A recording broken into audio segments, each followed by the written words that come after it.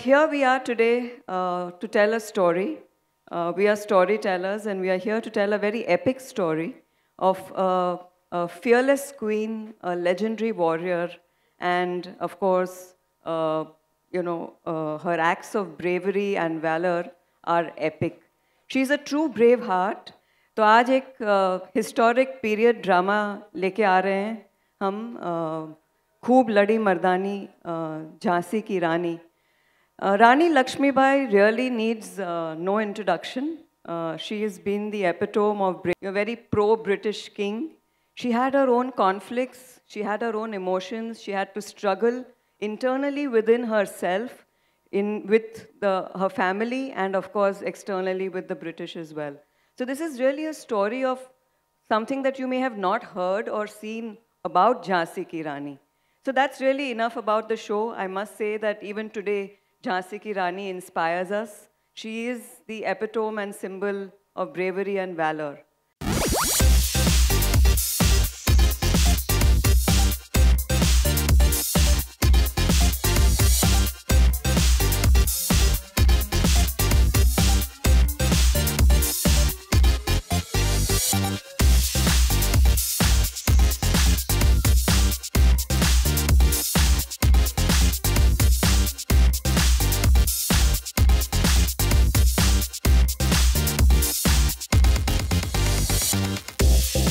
Niyati Thakkar and her force thank you very much आप यहाँ आए.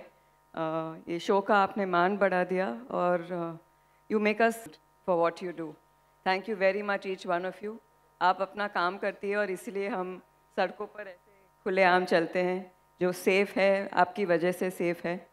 तो झांसी की रानी तब भी थी और झांसी की रानी आज भी है.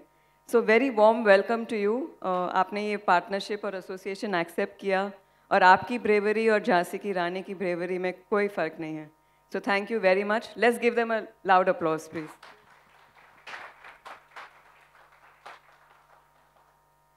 तो आप तो ये शो तो झांसी की रानी का है और झांसी की रानी is known for her bravery her love for her motherland for her actions at war and for everything that she fought for including all the social stigmas that that affected our life. आप अपनी कोई झांसी की रानी वाली कहानी बता सकते हैं जो आपने आपकी ड्यूटी के टाइम में कुछ हुआ था और कुछ इंस्टेंस बता सकते हैं? स्टार्ट विथ मी झांसी की रानी तीस साल सर्विस हो चुकी है। बहुत सारे मर्डर डिक्वाटी रॉबरी केसेस रजिस्टर कर चुकी हूँ। लेकिन उसके अलावा मैं एक्स्ट्रा एक केस बताना चाहूँगी जो साइबर का है, जो अभी नया ट्रेंड है। सब लोग सोशल नेटवर्क साइट पे बहुत ज़्यादा एक्टिव होते हैं। वैसे ही एक केस था मेरे पास सिक्सटीन ईयर गर्ल उन्होंने फेसबुक पे फ्रेंडशिप कर ली एक लड़के के साथ। फिर फ़ोटोज़ अपलोड किए, एक बार उसको मिल के भी आई। एक दिन कंप्लेंट जो आया था उसमें खाली उसने बताया था कि मेरा फेसबुक अकाउंट हैक हो चुका है और सारे फ़ोटोज़ उसके photo morph photo nude photo उसके सारे अकाउंट होल्डर्स को जा जा रहा है। उसको पूछा गया, जैसे डॉक्टर पूछते क्या हुआ? दवा मतलब कुछ बीमारी होती है तो पूछते वैसे उसको पूछा कि बॉयफ्रेंड है, कोई सहेली है, किसको पासवर्ड शेयर किया? उसने कुछ नहीं बताया। पेरेंट्स के साथ थी। फिर बाद में जब इन्वेस्टिगेशन किया, उसके बाद आईपी एड्रेस से वो लड़के को ढूंढा तो पता चला कि ऑनलाइन फ्रेंडशिप थी। लव अफेयर ऑनलाइन था। एक बार मिली थी वो लड़के से जाके। और केस तो डिटेक्ट हो गया माइनर लड़की थी। पोक्सो एक्ट भी लग गया उसमें। लड़का भी स्टडी कर रहा था, लड़की भी स्टडी कर रही थी। एक का करियर ख़राब हो गया लड़के का। मतलब ये मुझे मर्डर और ये जो केसेस है, उससे भी ज़्यादा सेंसिटिव लगा क्योंकि एक लड़का जो इंजीनियरिंग पढ़ रहा था, उसको पता नहीं कि ये भी ऑफेंस हुए ऐसा सब करने से।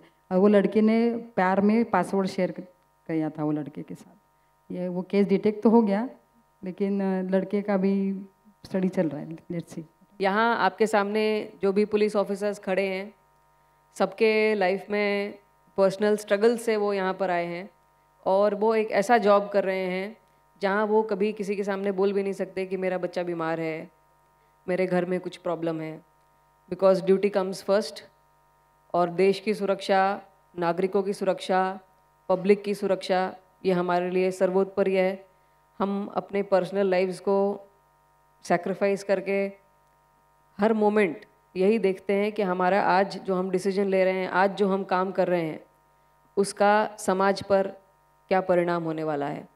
और समाज पर होने वाले परिणाम को देखते हुए हमें हर निर्णय अपना लेना पड़ता है। तो ये सबकी स्टोरीज इतनी थी कि आज समझ नहीं आ रहा था कौन सी शेयर करेगा, कौन बोलेगा, क्या बोलेंगे। क्योंकि हर दिन ही एक नई स्टोरी है, हर दिन ही एक नया चैलेंज है, हर दिन ही एक नया हमारे पास ऐसा मौका आता है जिस समय हमको उसी समय बड़े कठिन डिसीजंस लेने पड़ते हैं। कभी लाठीचार्ज करना पड़ता है, कभी प्यार से किसी को समझाना पड़ता है। कभी हमारे पास बहुत उच्च वर्गीय लोग आते हैं जो बहुत पॉलिश ट्रीटमेंट एक्सपेक्ट करते हैं और कभी हमारे पास क्रिमिनल्स आते हैं जिनको हमें कुछ ट्रीटमेंट देने की ज़रूरत रहती है। तो ये दिन भर रोज़ हम इन चैलेंजेस को फेस करते हैं बट हम बहुत खुशी से ये काम करते हैं हम सब बहुत प्राउड हैं ये काम करते हुए क्योंकि हम अपने देश के लिए वह काम कर रहे हैं। और यही सोच के हम सब इस सर्विस में आए हैं। हमारे बीच आज पुलिस ऑफिसर्स हैं जो ऐसा काम कर रहे हैं जो केवल पुरुषों की डोमेन का रहा। जैसे हमारे साथ महिला कांस्टेबल हैं जो कि डॉग स्क्वाड में ऐसे डॉग को हैंडल करने जा रही हैं जिसको महाराष्ट्र में बहुत कम डॉग्स हैं वैसे जो हमने लिए हैं। बेल्जियन मेलिनो ब्रीड है जो बड़ी अग्रेसिव ब्रीड है जिसको रोज़ 20 किलोमीटर वॉकिंग रनिंग की एक्सरसाइज करानी पड़ती है रोज़। तो वो हमारे मुंबई पुलिस में पहली बार ऐसे पाँच लेडी कांस्टेबल्स ने पाँच डॉग्स को लिया है और वो उनको, उनके डॉग हैंडलर्स बन रहे हैं। ये डॉग हैंडलर बड़ा चैलेंजिंग काम रहता है, क्योंकि आपको ट्रेनिंग में छः महीने उस डॉग के साथ सोना है, उठना है, बैठना है, खाना है, पीना है, उसके साथ आत्मसात होना है, वो आपका लाइफ पार्टनर जैसा बन जाता है। और डॉग की लाइफ तक आपकी वही ड्यूटी रहती है। तो ये चैलेंजिंग चीज़ें लेने से भी आजकल महिलाएँ पीछे नहीं हट रही हैं और वो ऐसे ऐसे नए नए डोमेन्स खोल रही हैं और अपनी एक्सपर्टीज से। सब जगह बराबरी से ज़्यादा आगे हम कहीं, कई ऐसे काम कर जाते हैं और हम कई बार रियलाइज़ भी नहीं करते कि हमने क्या क्या कर दिया है। जब हम बैठ के सोचते हैं, कभी तो लगता है हाँ थोड़ी अच्छे काम किए हैं हम लोग ने। और देश के लिए ये काम करते करते हमें जो खुशी मिलती है, वो किसी भी खुशी से बड़ी है। Brand new show. Let's begin.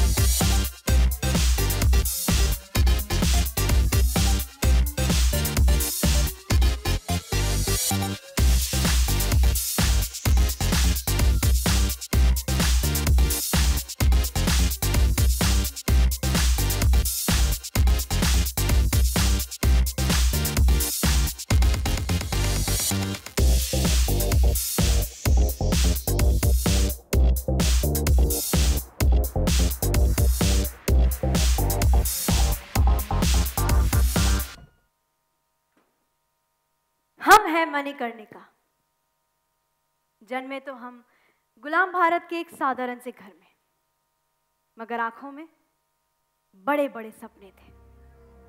और सपनों में था खुशहाल और आज़ाद भारत। माँ तो नहीं थी, मगर बाबा ने जब भी हमें गोद में उठाकर लोरिया और कहानियाँ सुनाई तो लोरियों में मातृभूमि का दर्द और कहानियों में देश प्रेम छुपा था। याद रखना मनु तुम केवल हमारी नहीं परंतु जन्मी पूरे हिंदुस्तान की बेटी हो। हाँ बाबा हम शुरू करेंगे। आज़ादी की लड़ाई नहीं दिखाकर रहेंगे इन भूत फिरंगियों को। कि ये धरती उनकी जागीर नहीं है। इस पर उनका कोई अधिकार नहीं। याद दिलाएँगे कि क्यों हमारे देश की मिट्टी का रंग हमारे रंग से मिलता है। हमारे देश की कमज़ोरी ने दी हमें रूल करने की ताकत।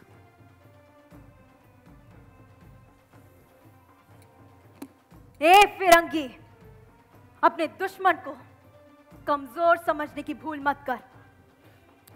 शाखाएँ कमज़ोर हुई जड़े नहीं। आज़ादी के सपने बोलकर आए थे हम, गंगाधर राव की दुल्हन बनकर। रानी का ताज तो पहना, मगर चुना स्वयं को झांसी के लिए। नहीं पता था कि अंग्रेज़ों से पहले आज़ादी की लड़ाई अपने ही पति से लड़नी होगी। हमने आपको केवल अपनी रानी के लिए चुना है। आप क्रांतिकारी बनने की कोशिश मत कीजिए। और अंग्रेज़ों के सामने झुकना झुकना नहीं बल्कि दोस्ती की सलामी है। समझिए आप? जो अंग्रेज़ झांसी क्या? पूरे देश के दुश्मन थे। उन्हें ही मित्र समझ बैठे। रोता, सिसकता देश नहीं दिखाई दिया उन्हें, और दिखाई देता भी कैसे? धोखे की पट्टी जो बाँध रखी थी, उनकी वही नी साहेब, रानी जानकी बाई ने। गौरव और अभिमान लिए, स्वाधीनता का मान लिए, झांसी पर कुर्बान हुए। भारत की नई सोच का अभिमान लिए। हर हर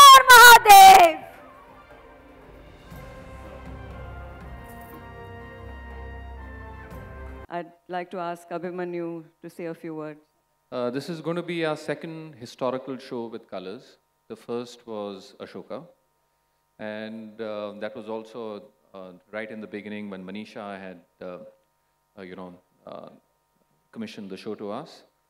And it's an honor to be with the Mumbai and the Maharashtrian Women Police Force. Uh, it's an honor, ma'am, uh, that you keep us protected.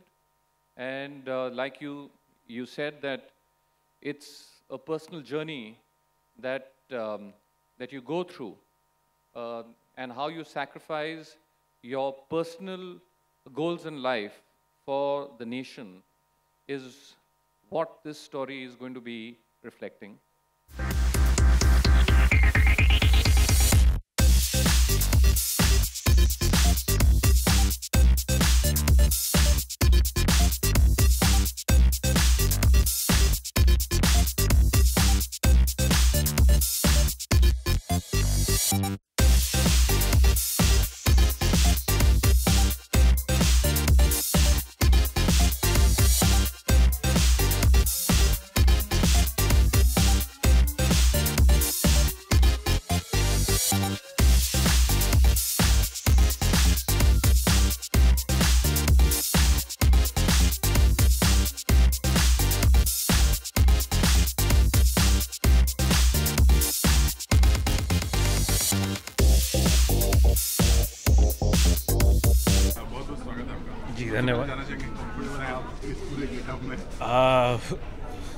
मुझे लग रहा है कि इसी जो चल रहा है वो यहाँ पर नहीं चल रहा है। आ, दस किलो वज़न है इन आ, कपड़ों का जो मैंने पहना है। आपने शायद न्यूज़ में पढ़ा भी हो। आ, तो बट ये जो मेरी जर्नी अपनी विकास से गंगाधर राव बनने वाली वो इसको आसान कर देता है। क्योंकि मुझे लगता है कि बहुत वज़न है गंगाधर राव नेवलकर किरदार में। और ये वज़न उसके लिए मुझे लेना बहुत ज़रूरी है। और it just helps me get into the character और बहुत ही खूबसूरत काम किया है हमारी पूरी टीम ने। आप देख सकते हैं। जी। जैसा बोला कि बहुत वज़न है जी। आपको देख के भी लग रहा है यू नो ग्रेसफुली एकदम सीना चौड़ा था। जी। तो सबसे पहले बताइए कि जब ये किरदार ऑफ़र हुआ जी। क्या मन में था? क्योंकि बहुत सारे और लोगों ने किया है इस किरदार जी। कहीं ना कहीं तुलना की जाएगी सब चीज़ों की तो ये दिमाग में बात थी। नहीं वो तो बिल्कुल भी नहीं थी। बिकॉज़ uh, मुझे लगता है कि uh, जब आप कोई भी स्टोरी सुनते हैं तो uh, उसका एक जो सुर है, उसका एक जो कनेक्शन है, उसकी एक जो क्लैरिटी है नरेटर से मिलती है जो आपको जो आपको सुना रहे हूँ तो वो अगर आप एज एन एक्टर उससे कनेक्ट कर जाते हैं और उस किरदार में अपने आप को देख सकते हैं, तभी आप उसको निभा भी सकते हैं। और मैं अपने आप को ज़रूर देख रहा था और मैं जो लास्ट शो था जिसमें out and out strong negative था गुलाम में तो मैं मैं वो एज इट इज़ वो इमेज को ब्रेक करना चाह रहा था। This he is a very it's an amazing hero is heroic character जो मिसअंडरस्टूड हीरो है।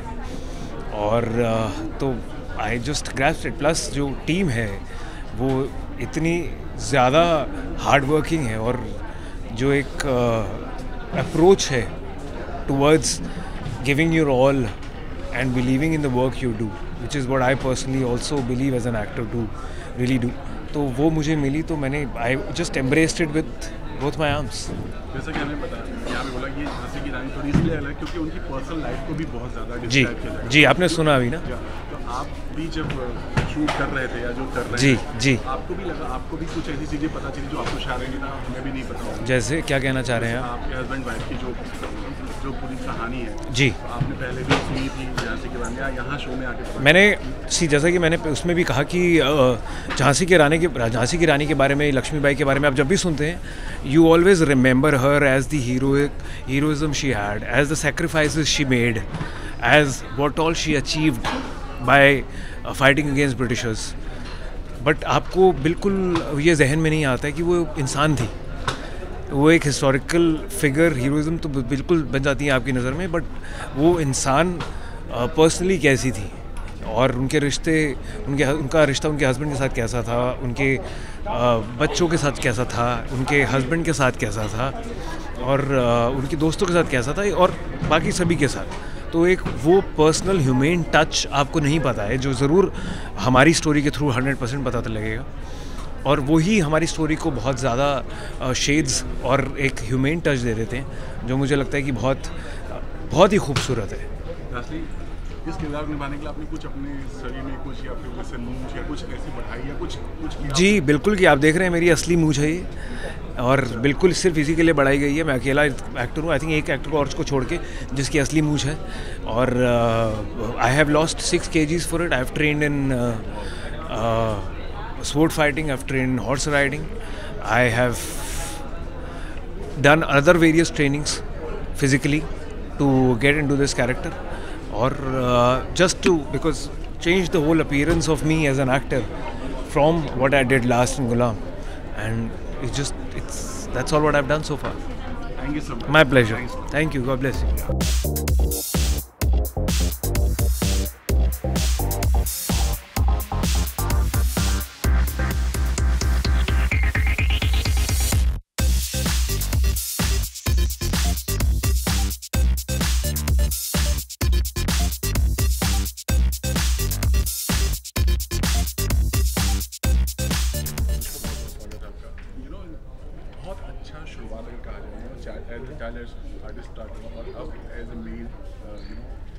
No झांसी की रानी अगर पिछले आठ सालों में अपने आप को देखूँ तो क्या कहना चाहेंगे? So lucky. Yeah yeah I think बहुत लकी और बहुत ब्लेस्ड हूँ कि ये रोल मुझे मिला है क्योंकि uh, रानी लक्ष्मीबाई लेजेंड थी वो ऐसी फ्रीडम फाइटर जैसे कोई आई गेस हिंदुस्तानी नहीं भूल पाएगा। और वो इतने से फ्रीडम फाइटर्स में वो एक जो है ना औरत थी जो उसने लड़ जो अपने हक के लिए लड़ रही थी। तो ये रोल मिलना बहुत बड़ी बात है। एंड आठ साल में मैंने जितने भी रोल किए ये मेरा फ़र्स्ट टाइटल लीड है मेरे नाम का शो फ़र्स्ट टाइम आ रहा है। एंड मुझे बहुत अच्छा लग रहा है, आपको बिलीव नहीं होगा, मैं आज सुबह भी थी मतलब मैं वेट करी थी कि कब मीडिया आएगी, कब वो अपना स्किट देखेंगे। एंड वो स्किट भी हमने आज सुबह ही प्रिपेयर किया। It was not you know pre made it was just सुबह सुबह we came and we did without rehearsals we did a take and मुझे बहुत अच्छा लग रहा था कि इतनी अच्छी लाइंस लिखी गई हैं। एंड आठ साल में या आगे भी मैं कुछ भी काम कर लूँ this is gonna be always my favourite role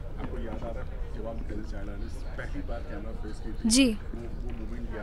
है मुझे याद है मैं अक्सा बीच में शूट कर रही थी म्यूज़िक वीडियो के लिए हमको है आशा which was directed by Rakesh Om Prakash sir and वो मेरे लिए बहुत बड़ी बात थी कि मेरे first director Rakesh Om Prakash Mehra sir थे क्योंकि uh, वो इतने सीनियर है उन्होंने दिल्ली से भाग मिल्खा भाग जैसे फ़िल्म उन्होंने डायरेक्ट की हैं।